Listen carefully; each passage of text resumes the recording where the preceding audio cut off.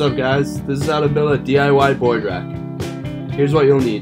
Two 1x1 by 4.5 foot long planks, a 1x1 by 28 inch long plank, two 1x1 by 19 inch long plank, seven half by 1 inch by 14 inch long planks, a 26 by 16 inch plyboard, about 9 square feet of carpet, a tape measure, electric drill, and some long wood screws. 10 L brackets just for additional support.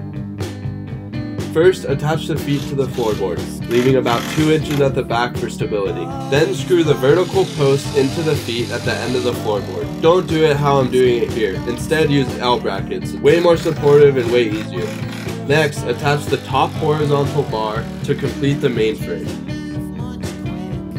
Then, screw in the board slots from the back, placing them about 4.6 inches apart. It doesn't need to be perfect though reinforcing it with more L brackets as you go. Now cut a piece of carpet to cover the entire floorboard. I didn't have a staple gun, so I simply grabbed a hammer and used staples, simply hammering them in to attach the carpet to the wood. This will protect the tail of your boards from any dings. Next, cut 7 4 inch by 14 inch carpet pieces and wrap them around the board supports, securing them with staples as well. Then cut 6 5 inch by 5 inch carpets and wrap them around the spaces in between the board supports. Finally, you're done with your board rack. Mine turned out a bit lopsided and wobbly, but was functional overall. Honestly, the only reason building this was worth it is because I got a lot of these materials for free.